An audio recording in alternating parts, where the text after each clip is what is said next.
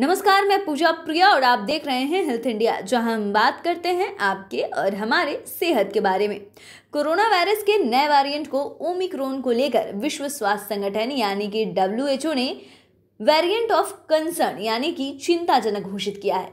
लेकिन सबसे बड़ा सवाल ये उठता है कि क्या इस वेरिएंट का पता लगाने में आरटीपीसीआर टेस्ट कारगर है? इस बारे में डब्ल्यूएचओ का बयान सामने आया है। डब्ल्यूएचओ ने कहा है कि जो वर्तमान लैब में कोविड की जाँच चल रही है, उसमें टेस्टिंग के दौरान नए वेरिएंट की पहचान हुई है। लेकिन कुछ लैब ने यह बताया है कि आरटीपीसीआर टेस्ट में तीन टारगेट जीन में से एक जीन का पता नहीं चला है।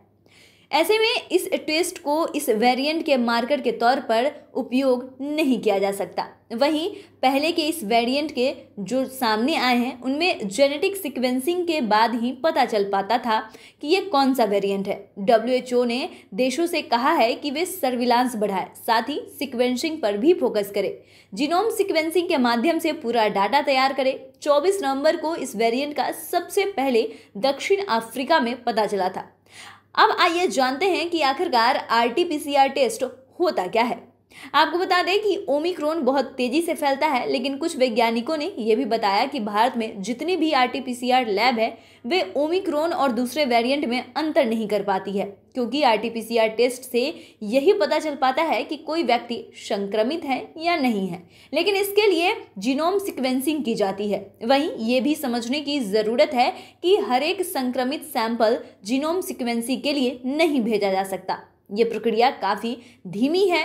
कठिन होने के साथ साथ ये प्रक्रिया काफ़ी महँगी भी होती है। एक अनुमान के मुताबिक सभी पॉजिटिव सैंपल में से दो से पाँच फ़ीसदी ही जाँच के लिए भेजे जाते हैं।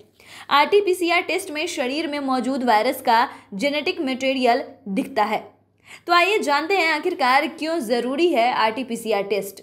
आरटीपीसीआर टेस्ट में कोरोना वायरस स्पाइक प्रोटीन में पहचानकर्ता की तलाश करते हैं। यानी वह किस तरह शरीर में आया, यह स्पाइक प्रोटीन में म्यूटेशन हुए हैं, जैसा ओमिक्रोन वेरिएंट के साथ हुआ है। ऐसे में ये भी संभावना है कि आरटीपीसीआर टेस्ट में म्यूटेशन की पहचान न हो पाए और कोविड रिपोर्ट निगेटिव आ जाए। लेकिन यह भी ध्यान देने की ज़रूरत है कि आरटीपीसीआर टेस्ट एक से ज़्यादा पहचानकर्ता की तलाश करता है। ऐसे में अगर स्पाइकल प्रोटीन में पहचानकर्ता की पुष्टि नहीं हो पाती है तो ऐसे में इस बात की तस्दीक करता है कि ये इन्फेक्शन ओमिक्रोन वेरिएंट के कारण हो सकता है।